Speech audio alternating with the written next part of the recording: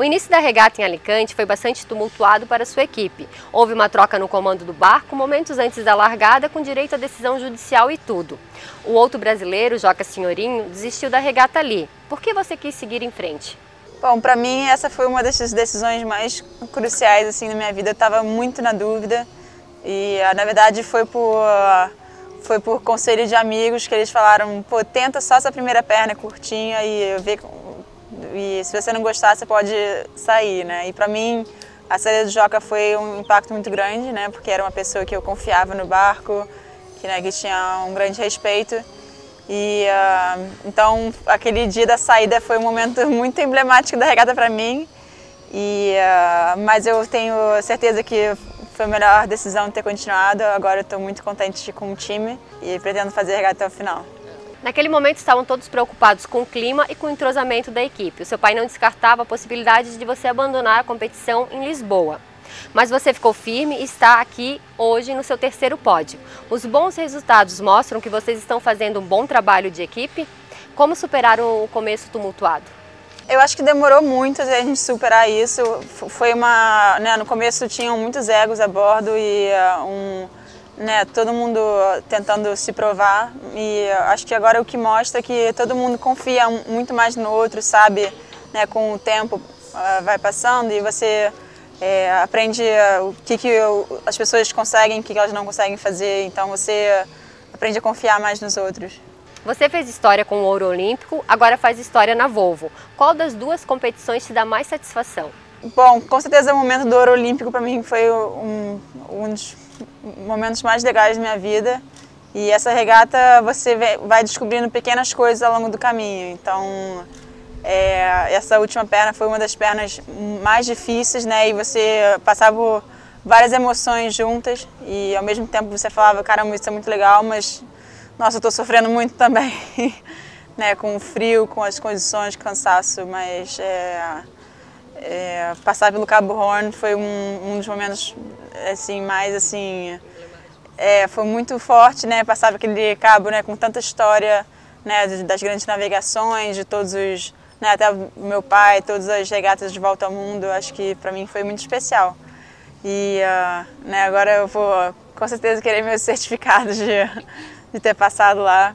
E uh, eu acho que essa regata, né, eu, no começo eu não sabia se eu queria fazer até o, até o final, porque né, as condições da, da equipe estavam né, muito difícil, mas agora eu tenho certeza que eu quero tentar completar essa regata. E uh, acho que vai ser um grande aprendizado para minha carreira na vela, eu acho que eh, eu estou aprendendo muito né, com as pessoas que já fizeram regatas outras vezes, né? O nosso o Chris Nicholson que está a bordo já fez acho que sete vezes e né, um tanto de experiência para aprender com, com esses caras e a, e a Emily também a bordo. Então se tiver convite já está na próxima.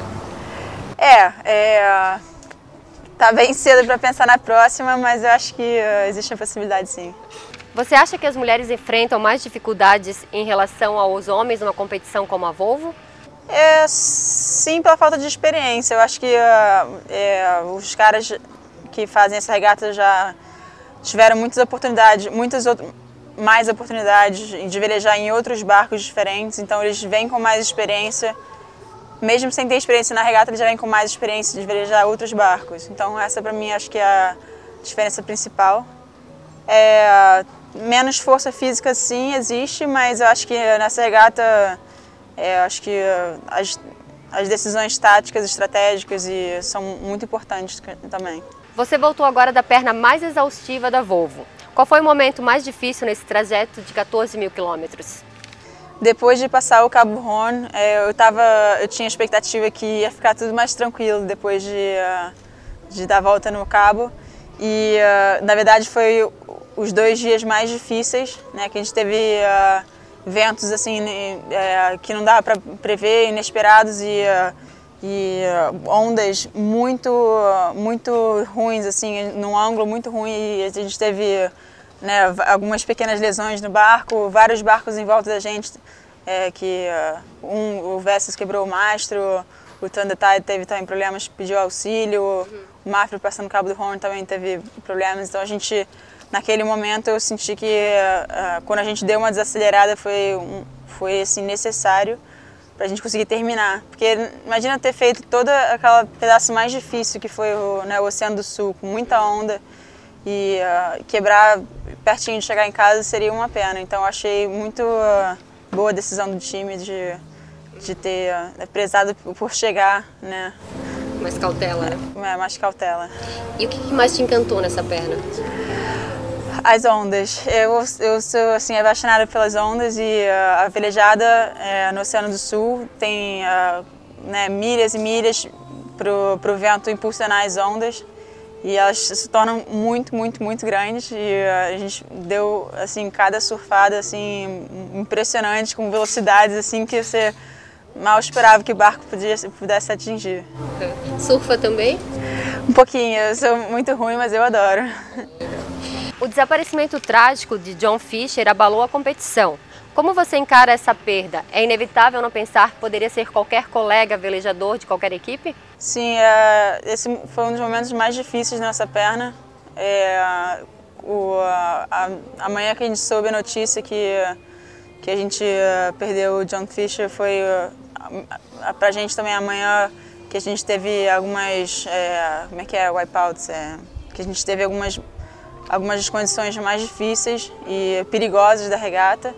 Né? Felizmente a gente não teve nenhum incidente, mas eu conheci o John Fisher apenas há um ano e uh, o pouco que eu conheci ele, ele era uma pessoa assim admirável, uma das pessoas motivadoras dos jovens nessa regata e ele sempre me deu vários conselhos sem eu nunca pedi nada assim ele, ele chegava e me dava vários conselhos que foram na real muito legais especialmente naquela parte que a equipe estava passando por dificuldades, ele sempre é, via assim muito mais para frente, sabe? Ele falava não, espero que essa, essa regata não é, é, tudo muda muito, né? Isso tem que ter perseverança e tal. E, foi uma das pessoas que disse para você continuar? Sim, sim. E, uh, e para mim a, a manhã que a gente soube a notícia dele foi muito muito triste, é, foi muito chato, porque né, essas pessoas boas assim quando vão deixam deixa um buraco. Tá. Como foi chegar a Itajaí, ver os seus pais a bordo do Itajaí Selentim e ver a recepção de algumas pessoas na Vila da Regata, mesmo durante a madrugada? Assim que, eu, eh, que a gente chegou, eh, na verdade, a luz de top do, do Itajaí Selentim foi, eu já reconheci na hora que era o, né, porque esse barco, eh, quem velejou ele antes até foi o meu pai. E uh, foi muito legal de ver. É, na hora eu reconheci e depois, quando minha mãe gritou, eu sabia que ela estava a bordo, né? E aí eles vieram acompanhando a gente até a chegada. Embora tenhamos grandes nomes na vela e uma costa imensa, o esporte ainda é bastante elitizado no Brasil.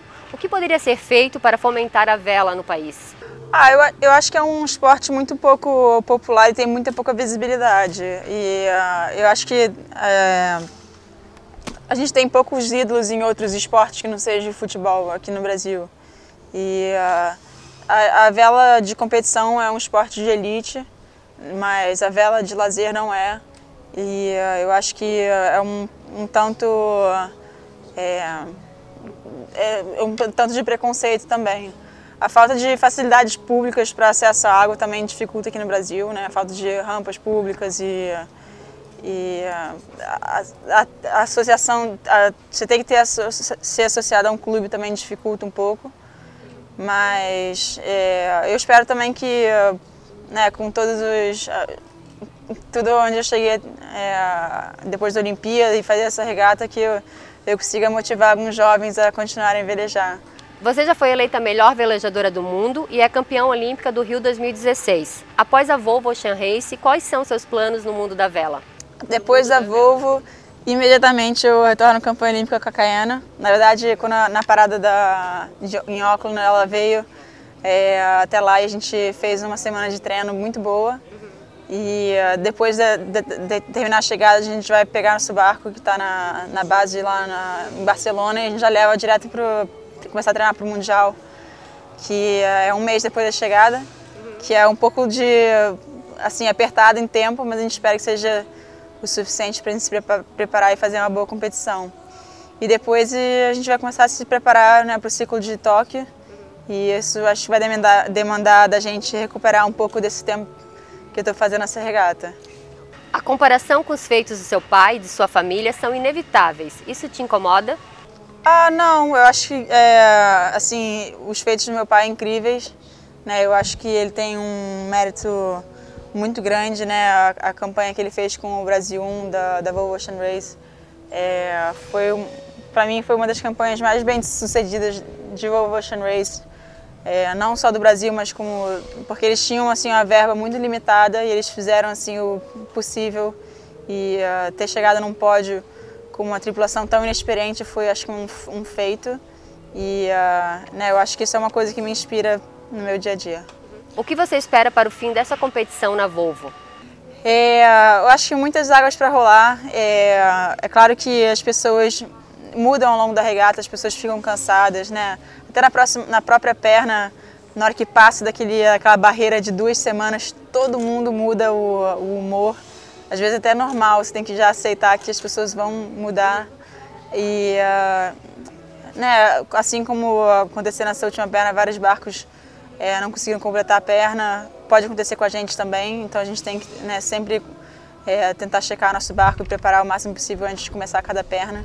A equipe de terra está aqui agora trabalhando duro para preparar o barco para a próxima perna e a gente tem que uh, tentar continuar melhorando. E eu acho que isso que é a parte bonita da, dessa regata que é, mesmo você não termine com uma, um pódio, é ver a evolução né, da, como equipe, como time é, do começo até o final da regata. O que ficou já da competição para você de experiência enquanto esportista e como pessoa? Bom, é, para o esporte, né, muito acho que essa regata, é, apesar de cada um ter uma função no barco, sempre tem um momento que você, né, cada um precisa fazer tudo, né? Então eu tô, tenho aprendido muito sobre, uh, sobre como trimar o barco, tive a oportunidade de timonear o barco também.